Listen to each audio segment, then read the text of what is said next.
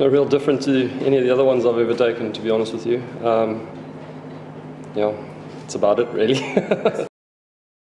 no, most definitely not. It's just, uh, oh, look, it's, I've never been a stats person, so, you know, it's nice to have the numbers, but like, I've had a lot better moments in my cricketing career. Winning games um, for my country has always been objective number one. So, yeah, job's not over, so, yeah, but it's cool. It's nice to have 400.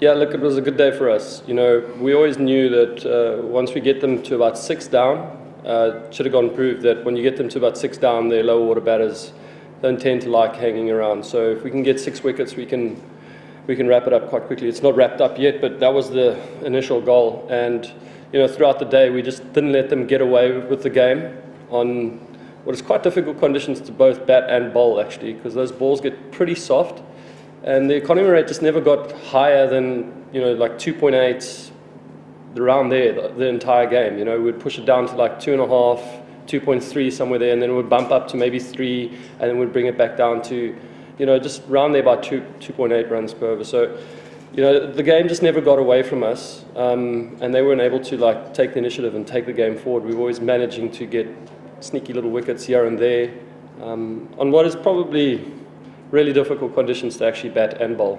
So kind of evens out.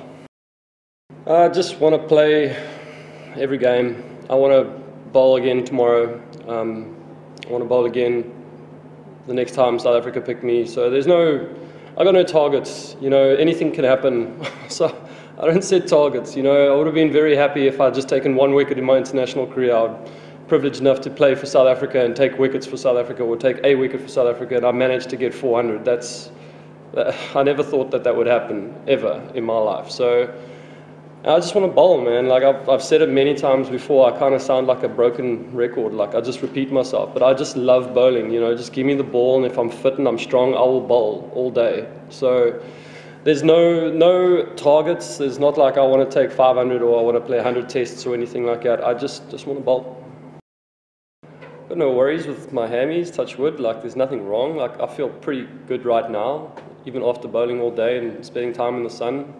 Um, it's good flow and I said before I, before I came here, like I spoke to you and I just said that uh, sometimes if you don't have that passion and you don't have that love for the game, things like kind of don't go your way and I love I love what I'm doing right now, even if it's in 40 degree heat and the ball is staying ankle high and it's not bouncing and there's no seam and it's very slow. Like, shit, I love it. Like, you know, I'd rather be here than anywhere else right now, you know. And there was a period just after the IPL where I actually didn't want to like have a ball in my hand, you know. And uh, I just needed like maybe two or three weeks just to, maybe even longer, four weeks, just to get that love back again. And like, like when you've got it, you, you just you don't want to let it go. And I just love being here. I might go wicketless in the second innings, who knows? But like I'm still going to be enjoying it. Like just love being on the field right now.